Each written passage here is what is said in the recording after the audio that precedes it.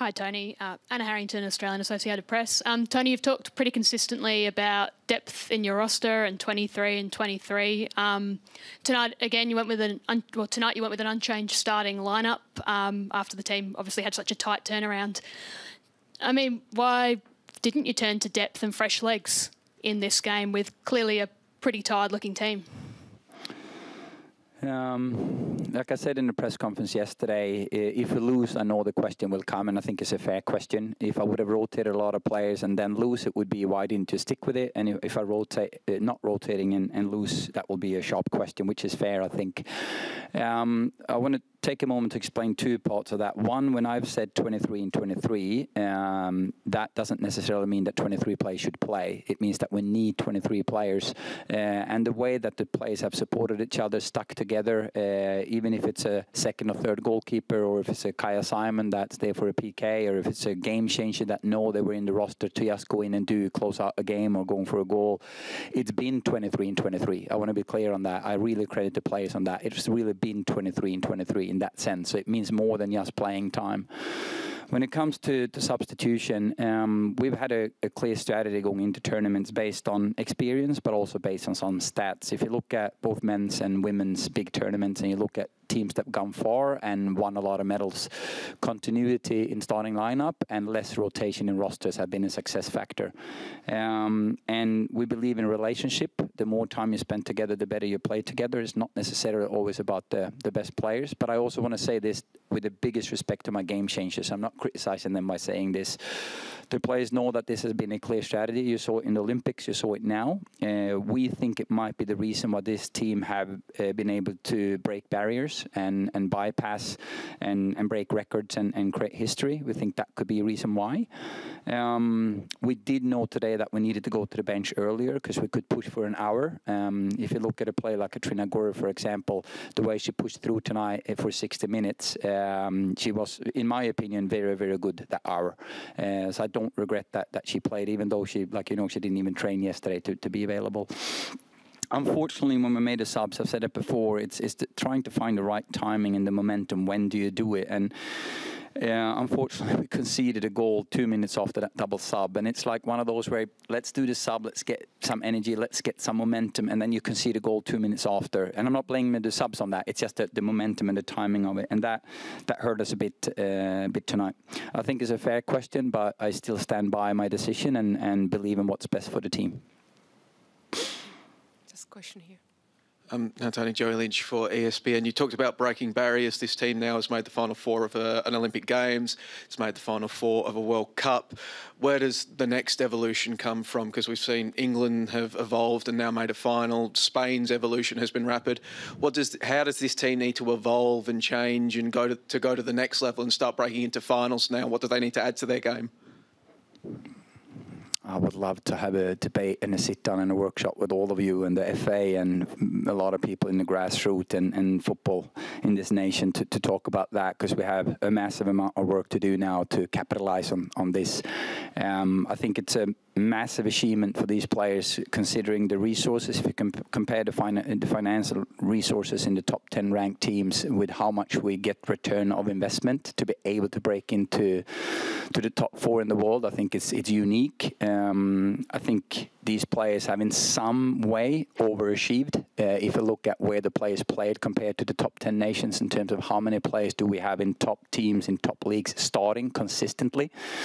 Uh, I've said that before, like if you look at Mary and Alanna, three bench players in City, um, all other players starts in England, for example. That's just one comparison. I don't say as disrespect to the players, but I think it's amazing to see that the players coming into this environment is performing the football they do, considering the, the little game time that they've had in, in clubs. Look at a Clare Hunt, for example, as well, with the limited experience she has. Um, but the next, the next thing now is investment. Uh, you know, long-term investment, not just a quick fix. Because a lot of these players, I think, is going to play the Olympics as well. So it's like keeping investing in these players and have a lot of players knocking on the door wanting to be part of it. But then now it's the long-term investment to really make sure we benefit of this crossroad moment for women's football in this country. Thank you. Thank you. Tony, hi, Tom, Tom Smithies from Keep Up. Um, you mentioned the other day that you never regret bringing Kyah Simon here. Um, clearly, she wasn't able to, to take part in the end, but were there any circumstances in which you could have used her?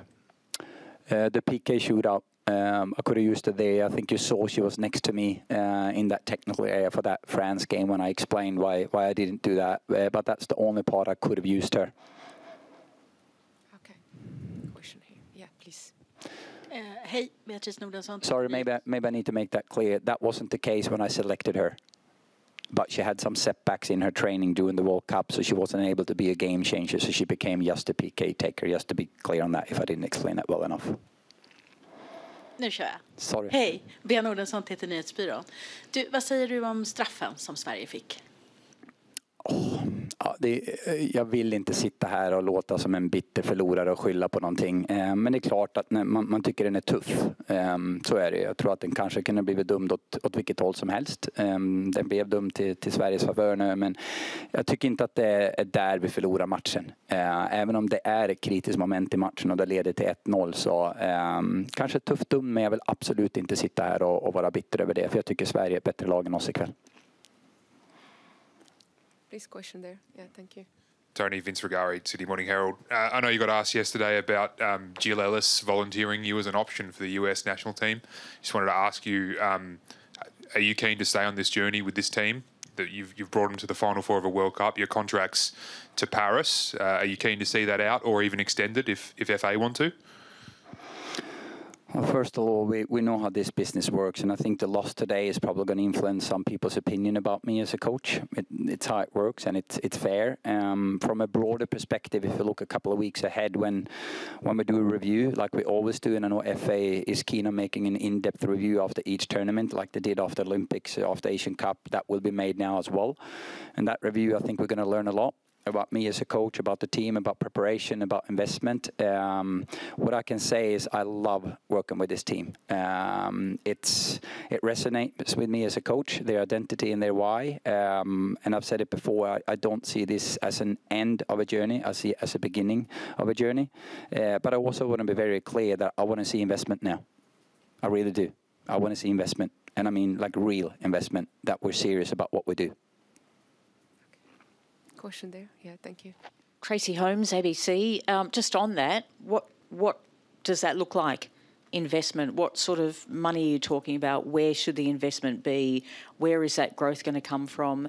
And uh, I'm sure that in the back of your mind through this tournament, you've still also got a little bit of space where you're thinking about what's next with the Olympics. How different do you think the team will look next year in Paris? Um, take the second part first with Olympics. I think a lot of these players are keen on staying uh, for another major tournament together. Uh, I have no signals for any players about retirement or anything. Um, and we have a good mix about experience and young players. Um, in that sense, I think it can be an advantage as well to have some continuity in a roster going from one tournament to another. It's a very short turnaround with, with few windows and few days to prepare with qualifiers coming up. But I also know there's some exciting players knocking on the door. Uh, if you look at extended roster we had before we selected it, it was tough to keep some of those players out. So I hope they keep knocking on the door and make those decisions difficult. Uh, but I'm excited about the Olympics. I really am very excited. But we can't jump ahead and think we're going to be there because we have a qualifiers first to deal with. So we need to focus on one step at a time.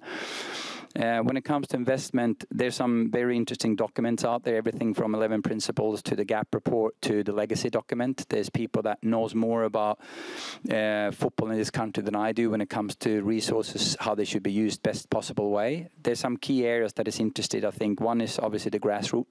Uh, the more players that play, the better players we will get. Uh, the more player that stays and stay longer in the game, the better players we will have. Uh, facilities is definitely a key area as well. So grassroots and facilities.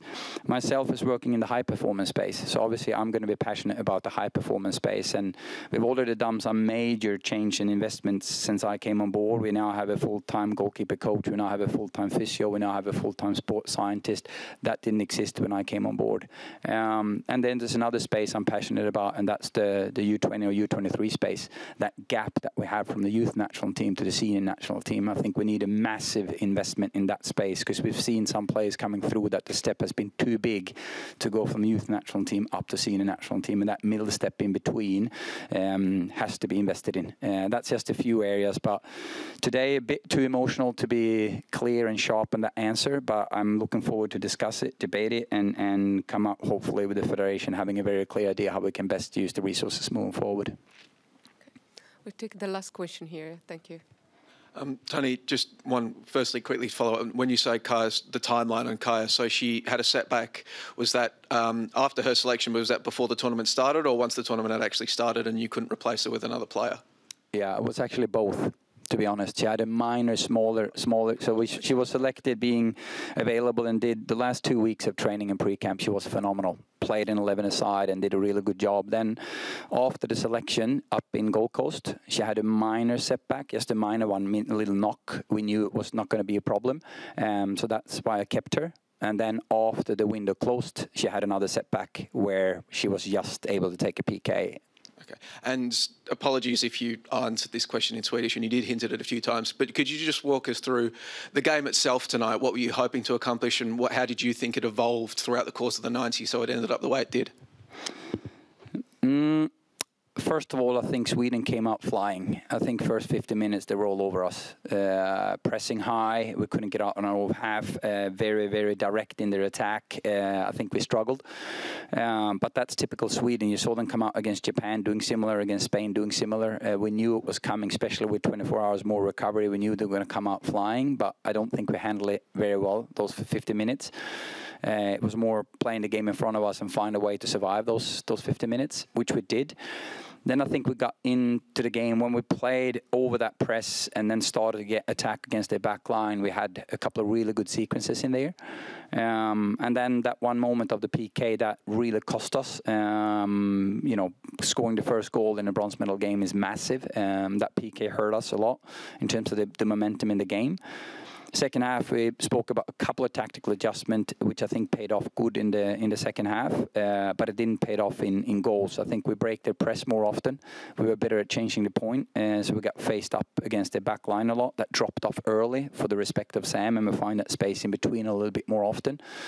Um, you know me, and I don't want to sit here and talk too much about stats, but the stat says it was a very, very even game, uh, except the PK, because the XG shoots up the roof when it's a PK, but take that out, everything is very equal they were more efficient than us. But at the end of the day, I think we lost against a better team.